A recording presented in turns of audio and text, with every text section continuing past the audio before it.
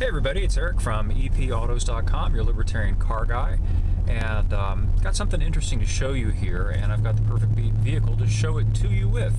Um, this is the Dodge uh, Durango SRT, which has a 475 horsepower V8. Um, but what's really interesting is how little horsepower you actually need uh, to get going and maintain speed. And I'm going to actually show you that. If you can see the instrument cluster of the car here, uh, it has a horsepower gauge that tells you in real time how much power the engine is producing to maintain a given road speed. And as we ascend, I'm on the Blue Ridge Parkway, and we're going to be uh, ascending from roughly about 1,200 feet to about 3,200 feet. Uh, you'll see how relatively little power is necessary to haul this pretty large and heavy vehicle up the mountain. Right now, uh, it's, uh, let's see, we're at 30, 40, 42 horsepower. Now we're ascending a grade that's probably about a, probably about a 5% grade.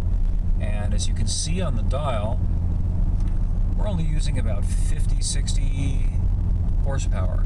And the vehicle has got no problems at all maintaining its speed. Now to put that in perspective, uh, 50, 60 horsepower uh, is not far removed from what an air-cooled Volkswagen Beetle engine made back in the 70s.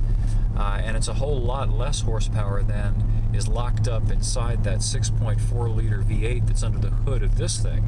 Now, if you want to get to 60 in about four seconds, you'll need the 475 horsepower.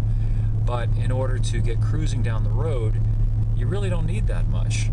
Um, it's just an interesting thing I thought you'd like to see a demonstration of. People sometimes, I think, don't understand how little power uh, a vehicle actually needs um, to move. And once it's moving, once inertia is operating in your favor, uh, it needs even less power. Now, as we're going up the hill here, again, we're using about 70 horsepower uh, out of the 475.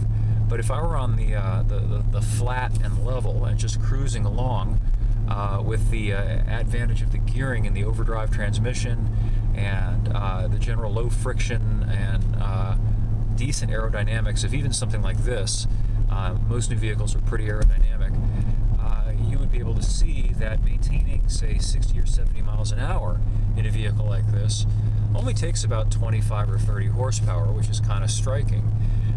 You use most of the power and burn most of your fuel accelerating the vehicle from a dead stop and also uh, when you need rapido acceleration as when passing a clover or if you just want to haul the mail uh, as I'm going to uh, partake of repeatedly during the week that I have this SRT uh, 8 uh, Durango to play with.